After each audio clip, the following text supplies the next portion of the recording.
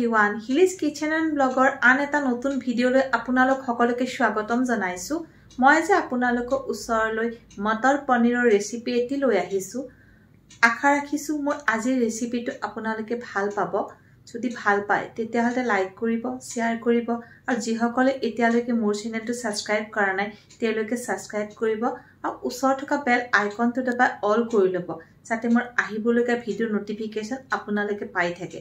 তেতিয়াহ'লে বোলকচোন দেৰি নকৰি মোক বনাবলৈ আৰম্ভ কৰোঁ ৰেচিপিটো ৰেচিপিটোৰ বাবে মই দুশ গ্ৰাম ফ্ৰেছ পনীৰ এনেদৰে কাটি লৈছোঁ। এবাটি কেঁচা মটৰ লৈছোঁ। এটা ডাঙৰ বিলাহী দীঘল দীঘলকৈ কাটি লৈছোঁ। এটা পিঁয়াজ এনেদৰে কাটি ল'ব লাগিব। দহ পোন্ধৰ ফুটা নহৰু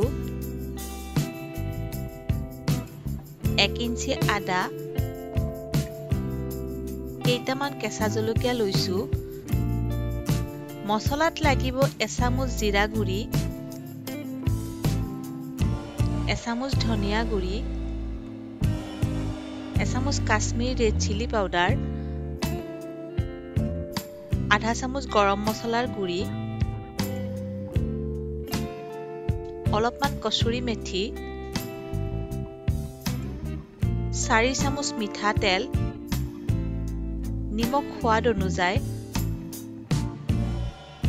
হালধি আন্দাজ মতে গোটা মছলাত দুটা ইলাচি লৈছোঁ আধা চামুচ গোটা জিৰা আধা ইঞ্চি ডালচিনি দুখিলা তেজপাত আৰু দহটা কাজু। প্ৰথমতে গৰম কেৰাহীত দুচামুচ তেল গৰম হ'ব দিম।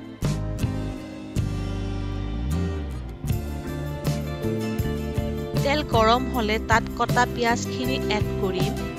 ফ্লেম মিডিয়ামত ৰাখিছোঁ।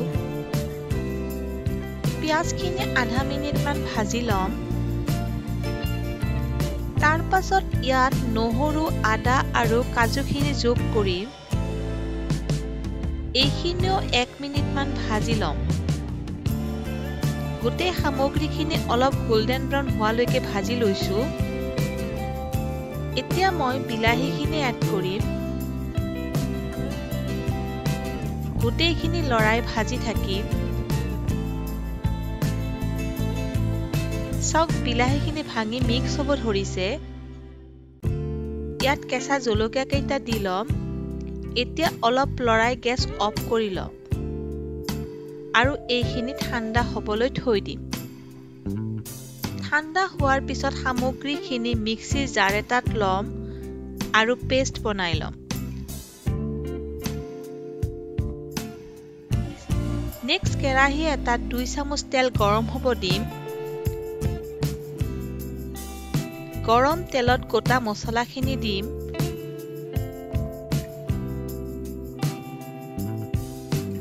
আৰু অলপ লৰাই ভাজি ল'ম। ইয়াত বনাই থোৱা পেষ্টখিনি যোগ কৰিম।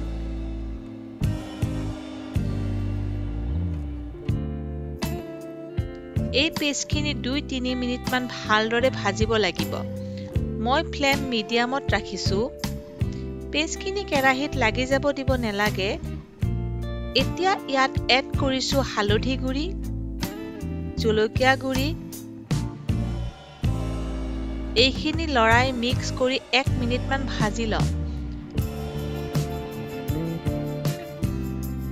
তাৰ পাছত ইয়াত জিৰা গুড়ি এড কৰিম ধনিয়া গুড়ি দিম আৰু ভালদৰে মিক্স কৰি তেল বিৰিঙি অহালৈ ভাজি থাকিম।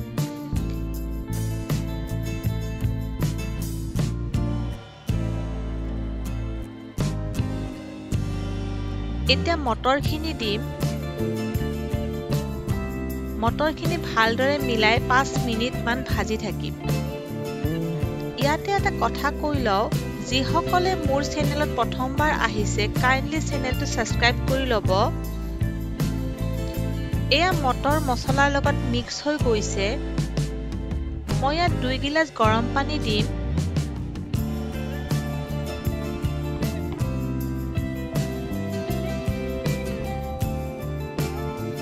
অলপ লৰাই সামগ্ৰীবোৰ পানীৰ লগত মিলাই দিছোঁ।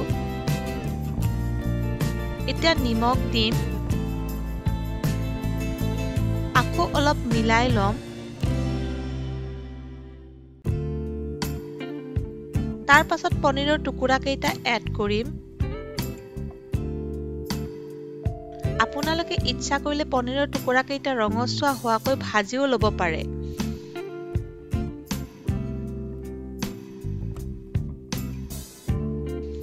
এইখিনি লৰাই অলপ উতল আহিলে ঢাকনি লগাই দহ মিনিটমান মিডিয়াম ফ্লেমত সিজিব দিম।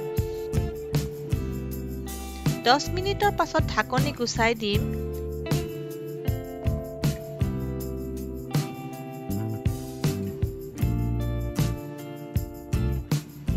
এতিয়া গ্ৰেভিখন ধুনীয়াকৈ উতলিছে।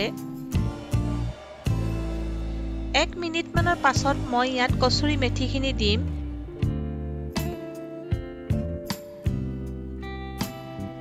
কচুৰি মেথিখিনি মই হাতেৰে মহাৰে মিহি কৰি লৈছোঁ।